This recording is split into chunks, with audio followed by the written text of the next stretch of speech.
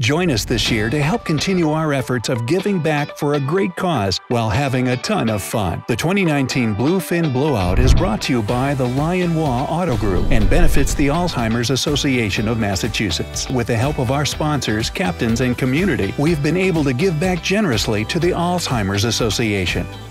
We're going to give as much as we can to the Alzheimer's Association. It's all about giving back in Gloucester.